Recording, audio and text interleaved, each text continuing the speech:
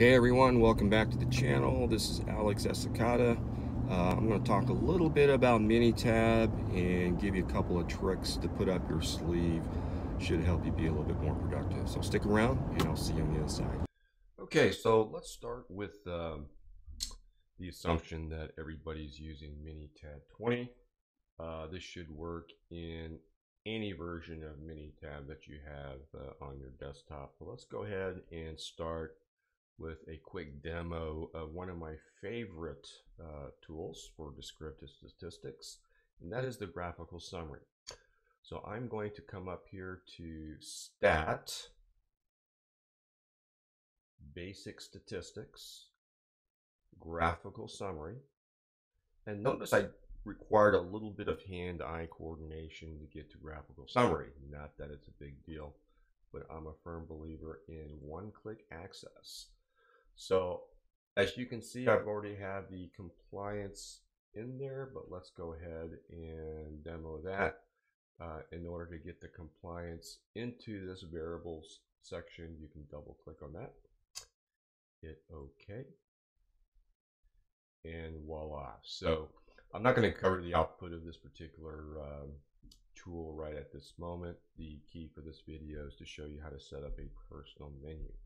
We're going to put a personal toolbar right in this section. So what you're going to do here is you're going to put your cursor right about there somewhere and then click on the right mouse button.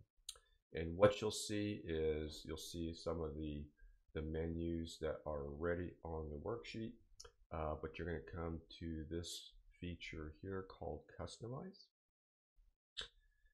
And what you'll get is a dialog box that has a number of different tabs to them. Uh, so we're going to go to toolbars. And you'll notice these are the available menus that Minitab has at the moment. The ones that are checked are actually visible on my desktop. We're going to click on the button New. And let's go ahead and put in DMAIC. Okay, so once you put in DMAIC, you're going to hit the OK button. And now what you're going to look for, actually we're going to go ahead and hit close. Off to the side of my desktop, there is a small little box here that has DX to it. And that's kind of what is called now the DMAIC.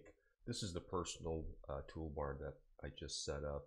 There's nothing in there, but sometimes this little guy will find its way in peculiar parts of your desktop but uh, once you find it, you're going to go back up to the area and click the right mouse button again and hit customize. So now we're going to prepare and as you'll see here in this left tab uh, is commands but before we do that we're going to click on toolbars and as you can see the DMAIC uh, menu is now here. And you're going to highlight that. And then you're going to go over to commands. And what we're going to look for is the graphical summary command. That is in the stat menu as you recall from earlier. And what I do is just click on any one of these commands and just type the letters GR and that will take us pretty close to where we want to be and in actuality we do find graphical summary already highlighted what we're going to do now is we're going to use our left mouse button and click on that and drag it over to this particular open toolbar.